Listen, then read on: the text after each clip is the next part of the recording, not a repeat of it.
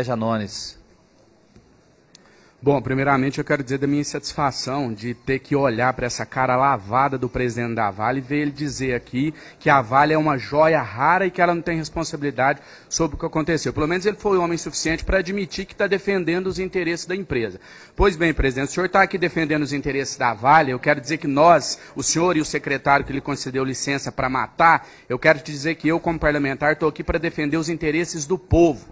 O senhor está aqui para falar a fala de quem paga seu salário. Eu também estou aqui para falar a fala dos que pagam o meu salário, que é o povo brasileiro. E o que o povo brasileiro lá fora fala hoje é que os, vocês dois são bandidos, assassinos e que deveriam estar presos. Fica difícil contestar essa afirmação depois da fala do representante do Ministério Público da União. O senhor disse que não sabe o que houve, né? Por que, que a barragem se rompeu? É muito fácil, presidente, explicar o que houve. O senhor representa uma empresa que visa o capital, o lucro acima acima de tudo. O senhor, junto com esse moleque que se diz secretário, que parece se sentir muito bem protegido aqui com parlamentares da oposição e da situação, devido ao relacionamento dele no governo Pimentel, e mantido por esse governador que se diz novo, mas que está reaproveitando o que tinha de pior na gestão passada, vocês colocaram os números nos papéis e viram que valia a pena matar 300 pessoas que, na ótica de vocês, não eram ninguém valia a pena, é a, é, a, é a, ótica capitalista, do lucro acima de tudo. É simples a explicação, não precisa de tanta fala,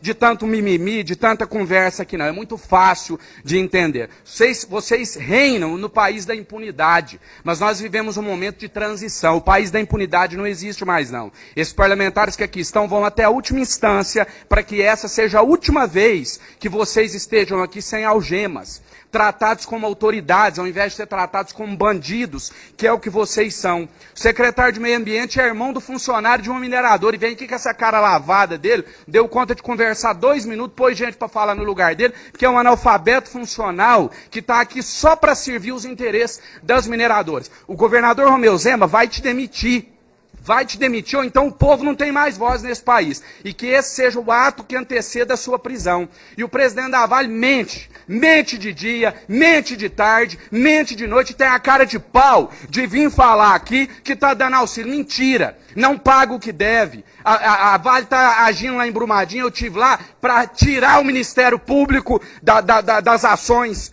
que vocês acostumaram a sobrepor o dinheiro acima de tudo. Mas nós não vamos deixar que isso aconteça. O senhor mente tanto que sequer até hoje a gente sabe quantas pessoas morreram, mas nós sabemos que não foi 300, que foi muito mais. Para concluir, os moradores lá também relatam, a Vale está tão preocupada com os moradores que até cardápio de hotel na hora de pedir a comida, a Vale está regulando o que, que aquelas famílias lá podem pedir e o que elas não podem pedir. Então, só para finalizar as três perguntas, senhor coordenador.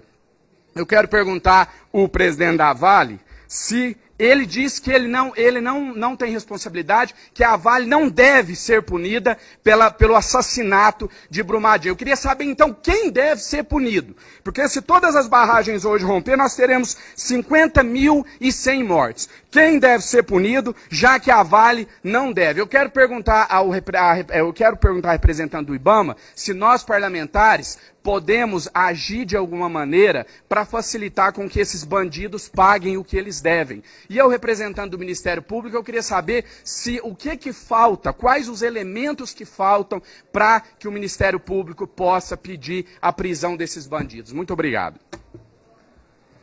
Deputado André Janones, muito obrigado. Em seguida, passa a palavra ao deputado Wilson da Fetaeng.